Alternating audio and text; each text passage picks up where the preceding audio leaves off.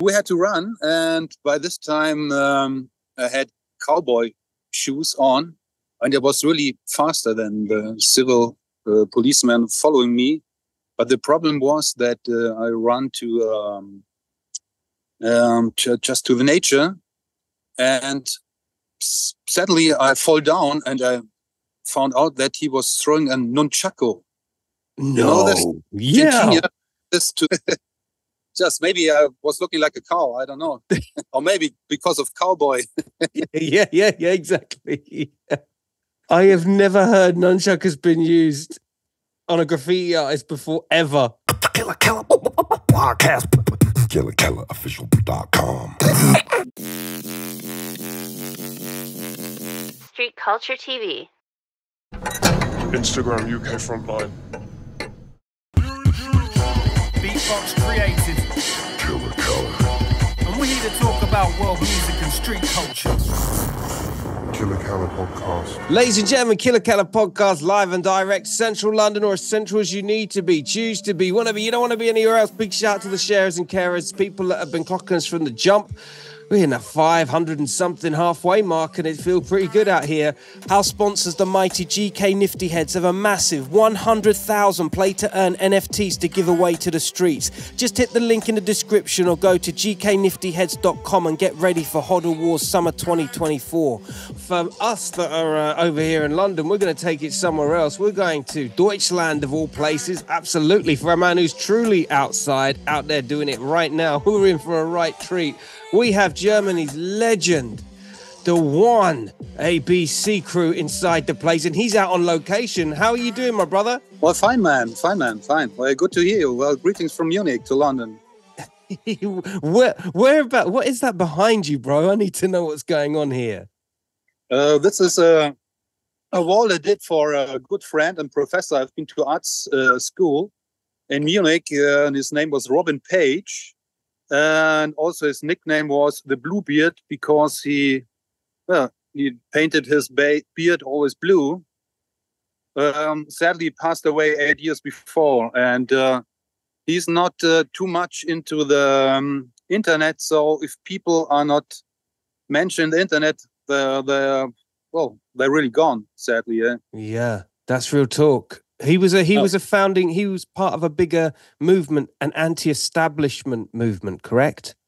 Yeah, he was. Uh, he was born in 1932, so he was into the so-called Fluxus uh, movement, which is also an, an, anti-art movement like graffiti is. And uh, today, I made some. Um, well, the some parts of the the painting faded away, especially the stamp which is the Bluebeard Art Collection, a museum stand. Wow. Was it idea that art is just for having fun, not just uh, going to museums and uh, thinking like this about pictures? Be quiet. Yes, the chin, the chin stroke. um, you, you mentioned anti-establishment graffiti. Yeah. Um, that's that's been graffiti's war cry for a long time. Um, yeah. And in 2024, that's changing somewhat, don't you think, WON? Well, for me, uh, graffiti is uh, still illegal art, just like uh, painting the streets, tagging. And, well, it became so big, this movement, when I started in 1983, 84. It spread like a virus over the planet. So if you go to Asia, a lot of parts of uh, South Africa, uh, anywhere on the planet, you can't erase this like like dog shit on your on your shoes. you can't just scrape this off. yeah. 83, 84. What was life like for you in 83?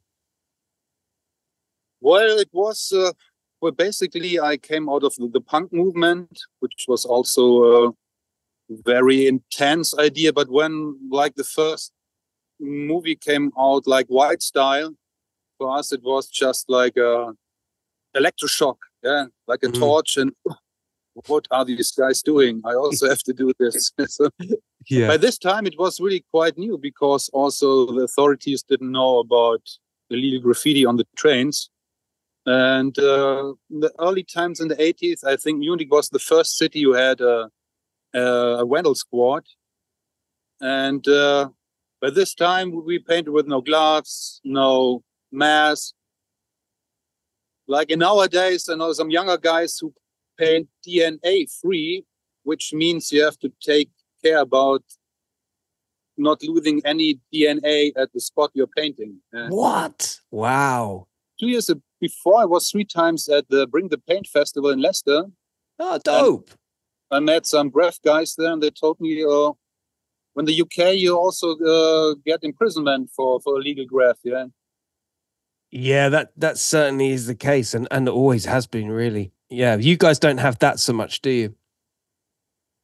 Well, I had a big trial in the 90s. Um, it was my high bombing time in 1995, and uh, I did a lot, a lot. And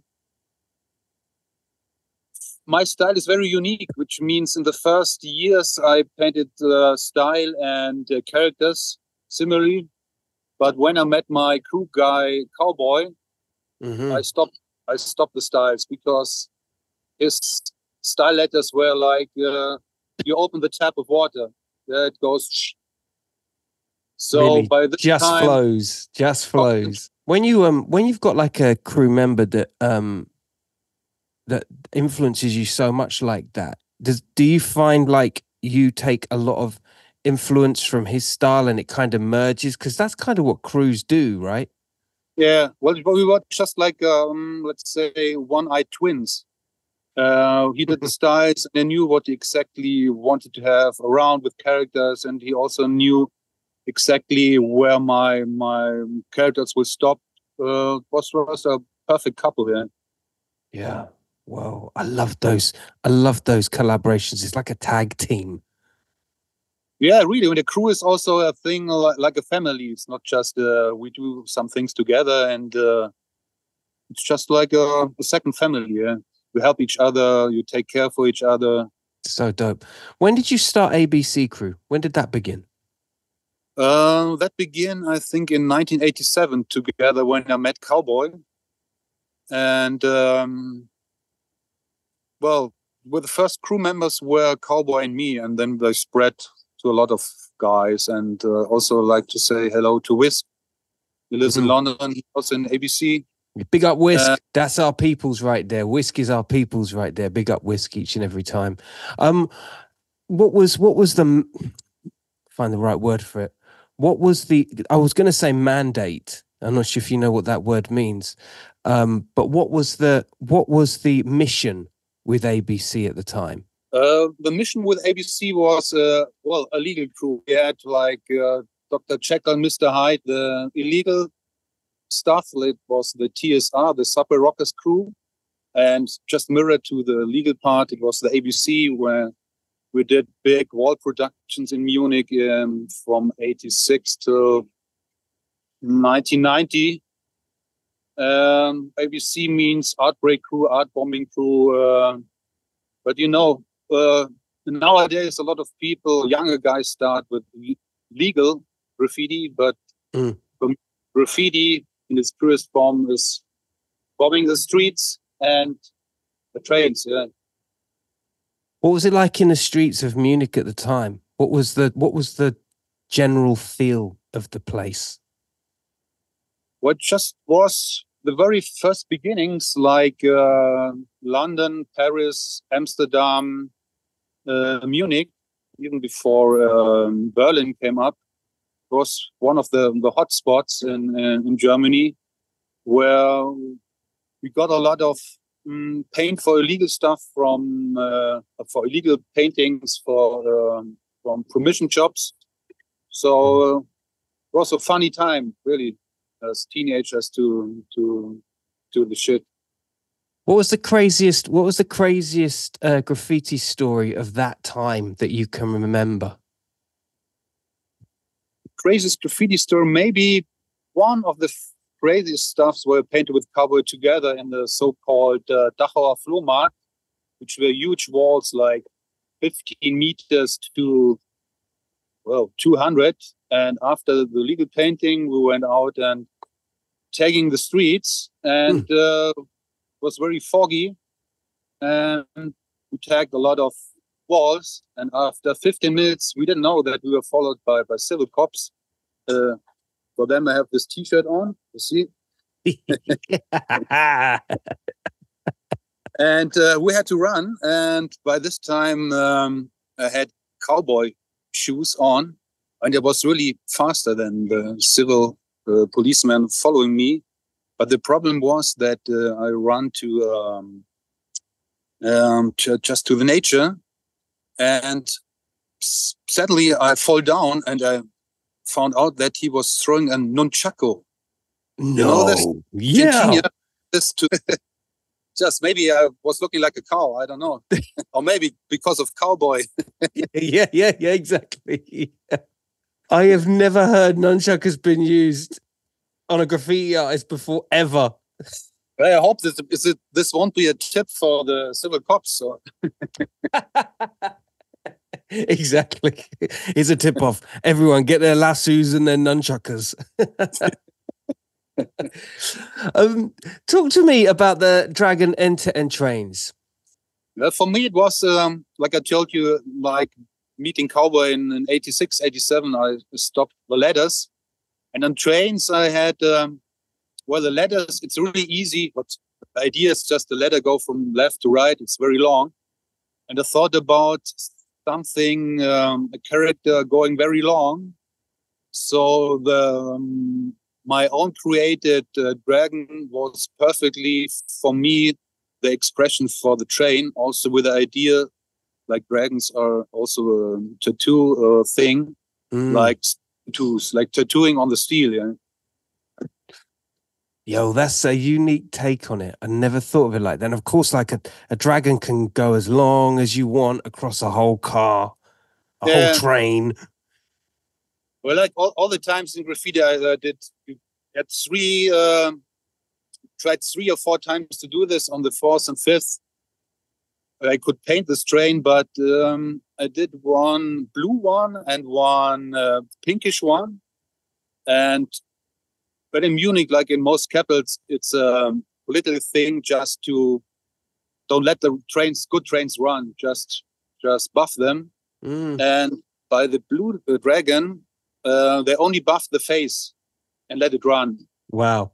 and i was so lucky uh, just three or four days later i wanted to paint somewhere a train and the checker came back and told me hey marcus you have uh, blue colors with you i said hey, why uh, you can paint uh, the face again to the dragon so but I forgot one one teeth to the dragon, so you can see the di- difference. But after this, they totally erased it. Damn. Damn. I mean, it's that's an iconic moment in graffiti, full stop. And I, I feel like, I mean, listen, WON, every German graffiti writer that I've had on the podcast, they all they all say that you are a, a huge influence on them, um, an inspiration, and with that comes a lot of uh, focus, right? Because Yeah. you know you've done this for years, you've had these um like iconic moments, and it could be very easily for you to, you know, fall off or go crazy or you know because that graffiti has a lifestyle as well. How have you how Yeah. have you maintained? How have you kept going? Well, a lot of guys of my crew, um, well, just got to drugs or stuff like this. Uh, even some of them are dead, like Soap, ABC, Grace, ABC, and Marok. And I think um, it's comparable to, um, well, artists like to go on the top of the mountains where you have the, the top view. And when you're on the top of the mountain and you walk, it's very easy to fall down. Mm, So because when you're on the top of the mountain, you have the highest feeling, um, the, the the best energy, and uh, yeah, it's, it's it's sad that people who are on this I know the English word for it. When you're on the on the mountain and you go on and on and on on the top, Mm. you can fall left or right. Yeah, Mm. Yeah, it's like you're on a tightrope and you're walking. yeah, yeah, yeah, like this. Do you think that? Do you think that can be said for other art forms? Like back in the day, you know, oil painting was a rebellious movement. Yeah, yeah, sure. It's just uh, the mirror of the society because uh, I did one day I did a picture. Um, the parents um, earn the children. Uh, for example, I grew up in a very uh, nice area. My parents were very good to me, but uh, for the rebellion part, I was just the opposite of my my uh, parents. Mm, mm. So I think, especially for graffiti, it's the biggest art, art movement in the history of mankind because when I think when in 1,000 years, when people look back, there's the biggest art movement around the globe. It's in the beginning, it was really before the internet times. You just know painters from from everywhere, maybe from Australia. You can phone them, you connect to them, you paint with them, you can sleep at their places. It was just also a form of uh, we're bringing cultures together. Mm. And, And, also uh, in Munich, in my crew uh, in the 80s, uh, I think the biggest um, were a lot of Turkish guys, uh, Italian, Greece, uh, Yugoslavia, but we didn't thought about uh, the background. It's just Mm. what what you do. It's just just not about your your color, your skin. It's just uh, what think about what we have in common. It's almost like a connective spider web of Yeah, people that underworld people that know each other and operate w- within a particular lifestyle yeah. across the globe. But for, ex- for ex- just for well, a hardcore example, two years ago I was in Petersburg on a big um, graffiti festival, and I met one Russian uh, German guy, and he told me he wanted to paint the subway in Petersburg. And in Petersburg and in uh, Moscow, there's a special subway line for the government, which is very deep, deeper than the others. And this guy he told me he was able to he didn't know that he would get to the government line and uh, well police get him and for the security guys it was just like uh, Really? A graffiti guy if you think about he can also put some bombs somewhere or do anything like this.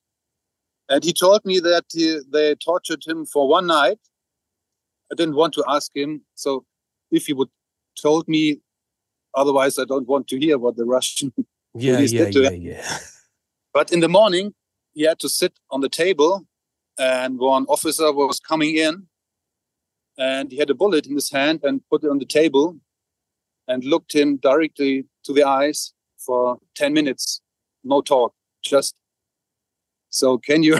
Whoa. Oh, I think I have to go back to my studio because I've only twenty uh, battery left. Yeah, yeah, it's all good. It's all good, man. I just need to cross the road. Okay, cool. So we can keep talking. Yeah, yeah, well, I li- like to have more arms. Yeah, yeah. like like a, like Kali or okay, take this, take that. Yo, and see, we are we are on location right now, people. Like this is the first time on podcast, and I'm loving every minute of it. What? On the walk, you can. I think you can see the wall a bit. Oh, yo, yeah, that looks dope. Wow, that's crazy. Yeah, that's Oh. the Bluebeard. How long did that take? Oh, this one was I don't know, ten days. But on the right side, it goes on. It's a big picture about uh, forty till twenty meters Whoa. about the revolution in Munich in um, 1915, no, after the, no, 1918, after the First World War. It was a, well, a revolution like um, anarchistic revolution. And they all got killed uh, from from uh, right wing guys. Right. Okay, You are you are re- you really do go in. You I mean you kill murals. Like you've done some very special murals in your time, haven't you? yeah. Well, you think about it, you only have one one chance in your life, so you have to really do it massive. So Go big or go home, right? have to be close to the studio. Yeah, man, for real. You have an old phone and well, An old 10%. battery, old phone. Yeah, yeah, got you. yeah, but now you can also see my studio. I tell you what, the camera is looking good, man. We haven't had any problems with this. Big up Zoom. Oh, what? Are you enjoying yourself, WON? Are you enjoying the uh, the ride of Zoom? Yeah, sure, looks great. I also like to say hello uh, to some old old school guys from London. Maybe you know Mean. Of course, big up mean. Yeah, Mean. You also met Dref. Say that again. D R D R E F Dref. Oh, of course, big up Dref. Yes, absolutely. Yeah. And maybe you also know Flowers. Flowers.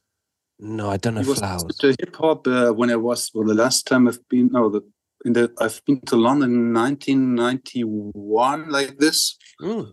Uh, and um, he was selling this A hats you know this A hats uh, was from Naughty by Nature with a Yeah, yeah. What what were those hats? That was crazy. They were like tie up kind of sock hats, right? like- looking like a Smurf or but they don't even. You can't even find them on like eBay or anything nowadays. No I think they're gone but uh, like like everything I think in two years everybody will wear A hat again so. yeah, yeah, totally, totally. And um, comment below, people, if you know a graffiti writer called Flowers in the UK. Uh, big him up, of course. Uh, or her. sorry I forgot Tizer Big up Tizer ID all day. Yeah, that's a great guy. Uh, I met him the last time in, I think, in Croatia somewhere. Yeah, Yeah, and I don't. And, and Inkie, Inkie. Of course, Inkie. Bristol Massive. yeah, absolutely. Inkie. Big up Inkie. Man, see, you're part of a pedigree where, you know, the people you mentioned there, they all travel. They're, they're, you know, they, they travel a lot. They're active, um, full production um, levels in the work that they do. Yeah, it's, it's so so funny. Like um, I did an art show uh, with uh, graffiti guys from Italy, and when you see how different the styles are, what people uh, bring out, it's really amazing. Just Mhm. how different uh, graffiti can get up, get up from a simple tag to a, I don't know, to an installation. Yeah, and the people that you mentioned there from the UK, they have their they have a very identifiable style. Each of them, they've got their own style, haven't they? Yeah. Yeah, by that time when I was in, uh, in London when I met uh, Mina and Dref, um, it was the time where it was also hard to bomb the trains because of the I, IRA uh, security thing. Wow. So yeah, yeah, yeah. That'll stop you. um, talking of you, uh, UK versus uh, well, t- yourself, talk to me about. Here comes a spicy, spicy subject. Talk to me about the battle with Mode Two. Oh well, it was just I always say like a battle. It was um, it was the um, what was the name? Uh, I forgot the V1 battle. Mm. And you you ever went to uh, to Russia or maybe Petersburg or Moscow? Or, Yeah, I've been to St. Petersburg a couple of times. so you know how big uh, hip hop and graffiti is in Russia. Most people don't know about this. It's huge. It's really huge, yeah. And Yeah. Uh, there was a guy with a lot of money who invited uh, uh, a lot of breakers, like uh, the old old school breakers. Uh, it was a real gathering of all graffiti DJs. Uh, it was really massive, and uh, oh, no voltage again. Can you hear me? Yeah, yeah.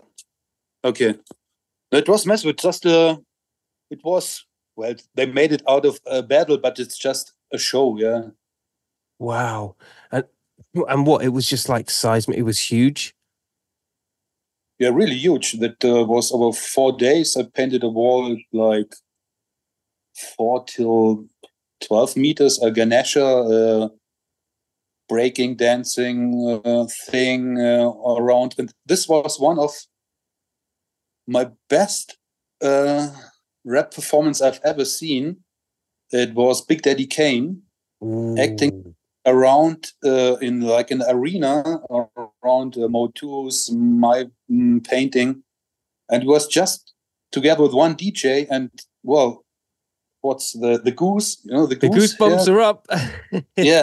Well, it's really amazing how this guy, well, was able to uh, to make all the guys crazy about 500 people jumping, jumping. It was, uh, I think, the best rap act I've ever seen.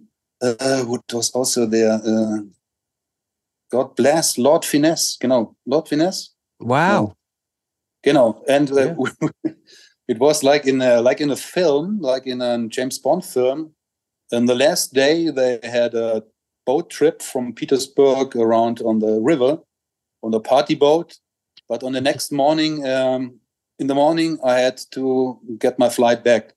So um, they drove drove for four hours, the lake, lake, party, party, and I said to the organizer, "Hey, in, in the morning I have to be back um, on the flight." No, no problem, no problem. So at three three o'clock in the morning, they just ordered a speedboat. so Donald D, uh, Lord Finesse, and some other guys we dropped to the speedboat and That's so funny. So- I think a lot of I think a lot of archive um, from the eighties and nineties. I, I think some of it. I think some of the reason we don't have enough is because because everyone was so young at the time. They don't Yeah. realize how important history is, yeah, and the other half is just technology. There just wasn't enough new technology at the time. Yeah. Also, also by this, but I also know some guys, from some illegal illegal train painter who, who don't take photos. They don't care about this. No. Are there any? the Um, poli- say that.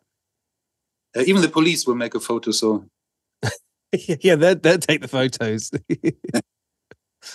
um, are there any writers from your era which you think should have carried on writing? People that stopped that you think should have continued?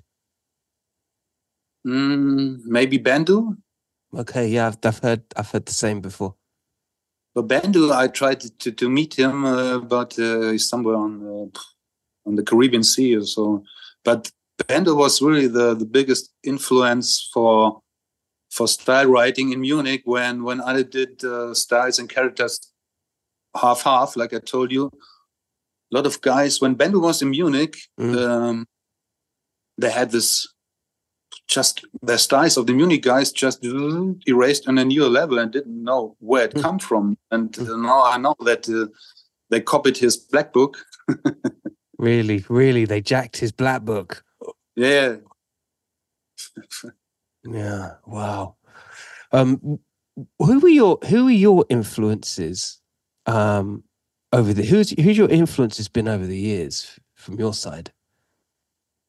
Mm, well, the influence comes from, I think, um, from life by itself. If if you have an open mind and travel a lot, uh, um, and always, I think it's like a um, a game of puzzle where you have this part, this part, and when the puzzle is done, your style can really run like water because uh, you have to find a unique way. Um, that nobody else can do because that's your style. You, you can't be better than your idols. Mm-hmm.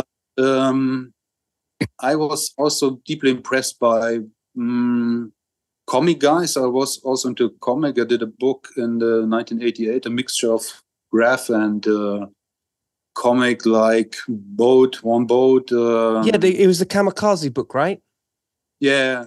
Yeah, this dope. was this book was uh, after uh, in 1945 I had my, my highest output on trains and the police uh, well after six, or seven house raids uh, they there was a trial, no evidence, but uh, they forced some evidences, and I was guilty. I had to pay a lot of money, but um, when you pay for it, you can say, "Hey, this is my train."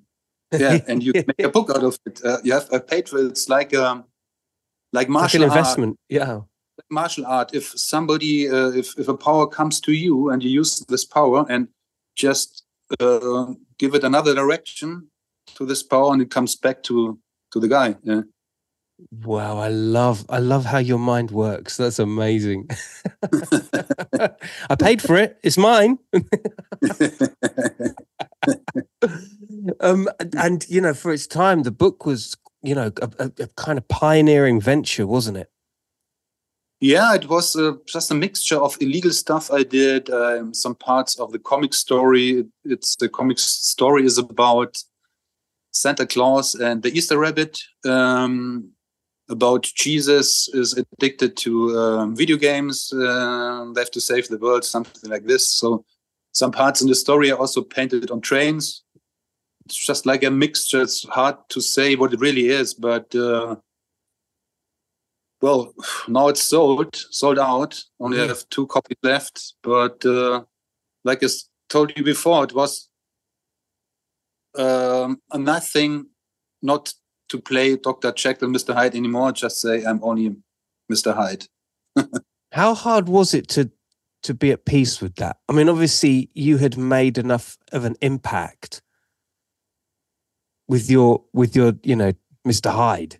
But but to make that transition where you're at peace with Jekyll and Hyde, how how hard how hard was that? Well, we always has to switch. So when when I started, um, I started illegal. But my first piece, when I like I told you, I saw the film uh, Wild Style. I Mm. grabbed the from my my uh, dad in the garage and went to a, to a small wall. And my first piece was, oh, I don't know, two meters to one meter. The letters fast. Mhm. Um, well, I had several illegal names, uh, Walt, uh, Schneewittchen, always different names. But in, I think in 1987, um, uh, some uh, Munich graffiti writers were invited to paint pictures for the Bambi film uh, Verleihung. What's the English word for it? The film celebration Yeah, yeah, Uh, the launch, yeah. yeah and uh, it was a benefit thing and uh, after we finished the canvases um, we had to go in front of a camera and uh, introduce ourselves who i am blah blah blah so um, like i told you i had, had no legal name before this in Mhm. until 1987 and neon i think neon the whole day there was from public enemy number one one one and I was so influenced by this by this one one that I just stand in front of the camera and hello, my name is uh, WON, but not like not, like one uh, because there was an A one from New York, just with a W. So it just uh, happened by accident, yeah. Wow, so that's how it came about. That's crazy. Yeah, but I also like the idea of being a public enemy. So Yeah. that's really very similar to the graffiti thing. Yeah, because in in Munich till I think till today, uh, in, when you read the newspapers, it's the um, the, the asocial, drug addicted graffiti guys who do damage, and they are just uh, garbage, trash. Uh, Yeah. Yeah, I know what you mean. Do you do you miss those days? Yes, I miss these days, but um, how can I say? Now I'm 56, and I'm really proud to be in good shape, or I can do anything I want. But I have this. Well, I think in mind I'm still 17 like this, Mhm, but mhm. with with the things you have uh, seen and done in your life, you, you get some people get wise, other people get uh, stupid. But uh, I really love all the input which came to my life. I don't want wa- to be. I don't want to be young again. Let's say this. is there anything you know Is there anything that you regret's a strong word, but is there anything that you think you're mindful that maybe you should or shouldn't have done? What I like to do, maybe um, mm, paint the space shuttle or something like this. There's some things that Ah. I, I love to do, or a big boat, something like this. Um, well, till now, I've really painted all around the world, also in China, which was also funny. Two times in.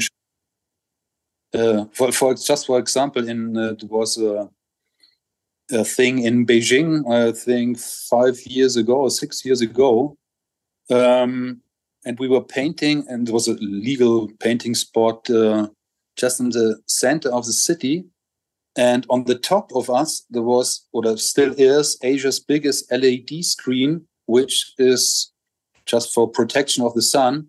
It's about 50 to 200 meters On your top. And that they uh, they showed while we were painting our artwork also to the screen.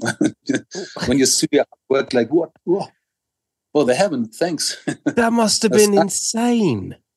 yeah, yeah, really. But also, um, mm, well, it was all legal graffiti. One one Berlin guy who was with us uh, and taking the streets. The next day, all tags were erased. So Yeah, yeah, yeah. Like, like literally, like wash on, wash off.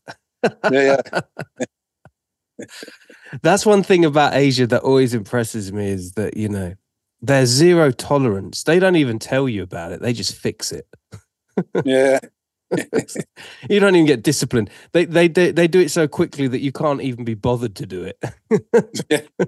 Oh, the, well, the, the hard thing in Munich now we have a special police law since one year, uh, which makes a regular police officer running around the streets, seeing you, and what's the English word for verdächtige? Uh, um, maybe you could do some crime. You look like you could do some crime. They can get you with no um, prosecutor for some month just Really? to jail. Yeah, yeah. If you think about when, how could a police guy, how how you look like, how how should should he know what I will do in the future? So Mm, mm, mm. really hardcore. That um, uh, also know a lot of uh, hippie guys. So when you speak to guys from the protests in '67 years, the German laws always get stricter, stricter, stricter, stricter after COVID, stricter, stricter, Mhm. stricter. And if people don't get up and do like this, it won't go back to a freer uh, way of Ah. living. Always get harder, harder, harder, harder. Mm, mm. I yeah, think- it, it happens without you actually feeling it as well, doesn't it? It's just ever so slightly gets worse Yeah, and sure. worse. Well, for example, the the wall I showed you before from uh, Robin Page. Um, I also was in London. Yeah, before I came to the uh, art academy in Munich, uh, went to London, St. Martin the Fields, I think. Yeah, and I showed I showed them some stuff I did for the Kamikaze book, and they just said, "Oh, you only work with images." yes, sir. Why not? So, so I want to go there, but they didn't take me. So in Munich, there was this uh, Robin Page uh, Bluebeard guy, and I showed him my my trains. Mm. He said, "Hey, perfect. Come to my class." So Wow. Wow. That's crazy. yeah, but art school for for me, yeah, I was there for five years, but. Uh, uh, how can I say that? When the first time when I entered its class, he told me, Marcus, um, we can paint together and drink beers in the pubs, but art school is shit. so delete Yeah, but- that. yeah, well, yeah, nobody can um, can. Well, this guy was like a catalysator for me, just not not Mm. like a, a hello master, hello master. You Mm. won't get better than your master. And for this time was for me, I was only was there for half a year, doing some painting, like rest, and the rest of the time. I was free, getting some money to build up something for me. Uh, So he was one hell of an influence for you then, wasn't he? What? He was he was one hell of an influence on you. Yeah, sure. For example, he also opened my eyes. Um, just tell you one story. He was invited with the other Fluxus guys in Amsterdam, I don't know, 75, 78, like this. Mm. And uh, they were just sitting in a pub with the other Fluxus guys, drinking, drinking, smoking, drinking. So the the guy who gave him the money, what's the curator, he came to the pub and, hey, in the exhibition there are no pictures or no artwork. Uh, I said, okay, no problem, we do it. So with the money they got, they asked the, the guy from the pub if they could get the whole uh, pub inventory and bring it to the exhibition so they can drink and smoke again inside the exhibition. so and when this this art critics oh yeah uh, the pub is uh, a special place for meeting and community blah blah blah also most things are just not the way they look like yeah That's hilarious. Basically, they were talking about a pub. you know what? I, I think the world misses characters like that. You know, people that just, you know, they like to they like to antagonize and challenge systems. You know what I mean? We're lacking that in the world, aren't we? yeah but every generation has to find his his own way to uh, to protest and well in the generation right now i don't see so much like like in the 80s or the punk uh, Yeah. time like in the 80s uh, just one thing in the 80s um, when the punks in munich had problems with police they just uh, throw molotovs to trains and in the covid times i was together here uh, with some um, football hools who were also uh, painting Mm. and they all had the acab tattoos around and we had um, i don't know the english word um, at 10 o'clock we should all go inside yeah so at 9 oh, o'clock we curfew. out- Curfew. Yeah we are sitting outside drinking together with this hardcore acab guys. And at 9.15 police came and said drink your beer and go inside. And uh, i told them well no I, I will maybe go one minute before 10 yeah but not uh, and these Yeah. guys oh oh we have to leave. So in the 80s there will be stones to the police yeah or i don't know anything else but it's i think the hmm, i don't know what happened Yeah, I think it. yeah, I a think big brainwash Yeah, I think so. I think it's a combination of the brainwashing thing with lockdown and even terrorism back in like yeah you know 9-11 days. You know, you bear in Yeah. mind like a whole generation got sanitized on terrorism and Red Bull. And then Yeah, technology to- came.